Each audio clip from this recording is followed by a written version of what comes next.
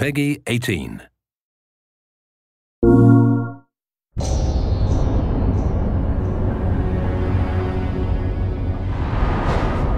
The son of Zeus. Ares was brought into a world forged from violence.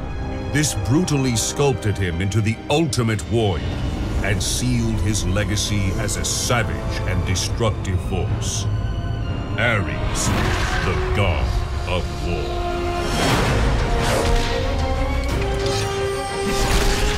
Burning with rage, Ares warriors utilize fire to strengthen their physical attacks and set their enemies ablaze. Gaining life with every encounter, the skills and power of his champions grow with each assault.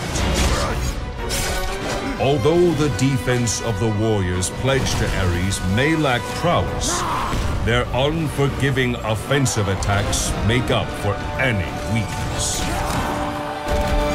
Ares' relentless firepower sets him apart from all others and confirms his namesake as the God of War.